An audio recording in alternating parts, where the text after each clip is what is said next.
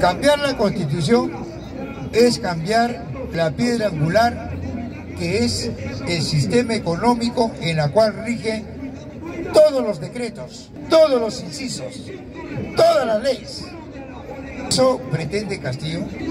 Castillo lo que quiere hacer es una reforma, pero el cambio es otra cosa.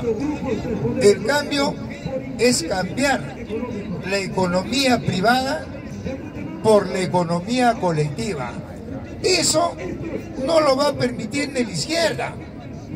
Y ya lo dijo el compañero. Recuerde, amigo, que la izquierda y la derecha se turnan para mantener este Estado terrateniente y burocrático. Y ambos se juntan para impedir que el comunismo avance. Eso no solamente es acá, sino en el mundo entero. El Estado tiene dos burguesías, la burocrática, que es la estatista, y la compradora, que es la de libre mercado, el neoliberalismo. No son opuestos, sino que unos estatizan y los otros privatizan y se turnan. Uno se desgasta, luego del otro se desgasta, así como en Norteamérica, los republicanos con los demócratas. El otro punto, cuando hablamos de organización, tenemos que analizar según los clásicos.